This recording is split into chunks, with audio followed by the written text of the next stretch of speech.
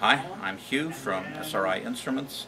This is a SRI 8610C GC and it's equipped with FIDs and methanizers. So this video is going to show you how to replace the methanizer if and when that becomes necessary. So this GC has two FIDs, two identical FIDs with two methanizers. So to take it apart, you remove the screw. Oh, oh, let me look.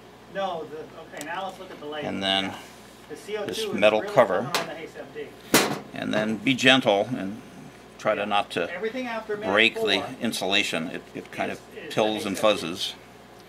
So we'll take the insulation off, try and not to wreck it. labeled CH2 plus CH4. And then really. this is the collector electrode of the FID. It'd be easier if we could remove that. And then we need to remove the air connection. Down here there's a tube that's running from the air bulkhead up to the FID detector and we need to remove that. It shouldn't be on super tight. It doesn't need to be. There's no pressure.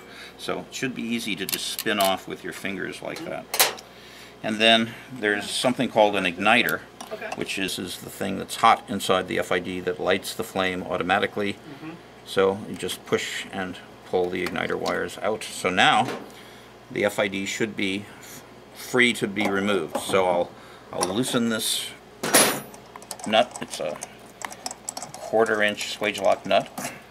And then I can pull this whole assembly out of the bulkhead fitting. We call this the bulkhead fitting. That's where the hydrogen comes up into and then this fits into that. And this tube is where the, um, the nickel catalyst um, is packed, right? So we have two sizes of tubes. The, the, the body of the detector is the same, but we used to make the tube a 1 8 inch tube, and that looks like this, whereas this tube is a quarter inch tube, so it holds a lot more of the nickel catalyst, so it seems like it lasts forever because there's more stuff in there, right? So whichever style you have, you can either unpack the nickel catalyst and try to pack your own, or you can purchase from us, it's about $140 I think, a replacement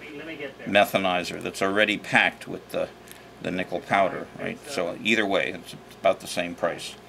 So we have to put this new one into, we have to put this new methanizer into this fitting, right? So the fitting allows the tube to go in a lot of different distances, right? It's very important that we position the tube so that the tip is right in the middle. So it, it makes it a lot easier to do that if you remove this little top cover Ooh, the document and then this is the collector electrode. Makes it wrong. It easier to see what's going on if you remove these little bits I see now. And then you can you can see much more clearly inside. I'm going to remove this. This is called the igniter. You have to be a little careful when you remove this, not to hold the igniter Mm-hmm. while you turn the nut You put- because if you we have in just twist, you can twist this against something that might damage it, so you have to be careful to hold it. Okay, so if you, if you look through here, you can see it's just empty, right? But when the After the mold. Four. Yes. when the the methanizer and the jet go in, they could go in too far, or they could go in not far enough. So you have to try to position this so that they're they're just at the perfect distance where the tip of the jet is right in the middle of the fitting. So I'll just put this one back in. See, when you tighten up the nut, you have to make sure not to let the tubing slip while you're tightening the nut. So you, you might need to wa to look at it while you're tightening it, just to make sure that it's it's not moving. So once you get it tight, Yeah. you get it tight enough that it's not going to move, and then you can put the new tube back in. Yeah, I've Well, seen that. yes. If it's like you were I think running when you turn the You'd probably one off, or you reassemble all the little you bits know, and pieces before you put it back in. That would make it easier. Yeah. But you get the idea. That's how you replace the methanizer tube. And when the happened to me, like, methanizer is working perfectly, When I, yeah.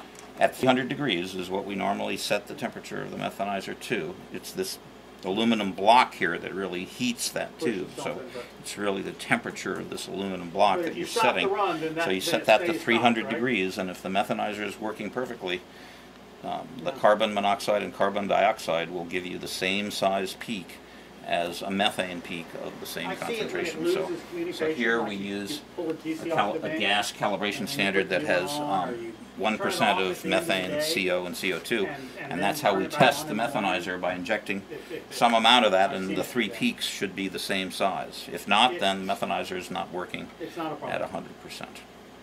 So that's it for this. Thank you so much.